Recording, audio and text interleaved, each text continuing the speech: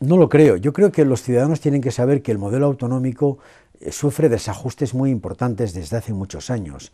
El Senado no funciona, el reparto competencial es muy confuso, el sistema de financiación no satisface a las comunidades autónomas, la cooperación entre las comunidades autónomas no es suficiente.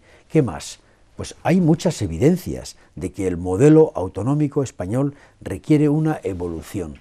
¿Qué tipo de evolución? Llamamos evolución federal a la incorporación de las técnicas de Alemania, fundamentalmente, como un Estado federal bastante ejemplar al modelo español. ¿Para qué? Para que haya un Senado de las comunidades autónomas, para que haya un reparto competencial mucho más clarificado, para que haya un sistema de financiación que haga a las comunidades más corresponsables en la recaudación, pero también más solidarias.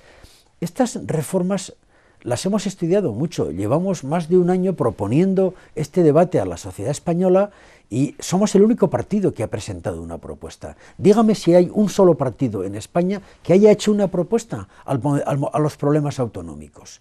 Pero además hemos dicho, esa reforma tiene que incluir la Constitución, porque probablemente hay que cambiarla para que el Senado sea una Cámara tipo Bundesrat, para que sea una Cámara de las comunidades autónomas, pero también porque en España va a ser necesario que las singularidades lingüísticas, culturales, políticas de, una comunidad como Cataluña y de otras, como la ultraperificidad canaria o el sistema archipelágico de Baleares, esté incorporado a nuestra Constitución. Y eso implicará eh, darle a nuestra Constitución también una fuerza de reconocimiento de esas singularidades. ¿Para qué?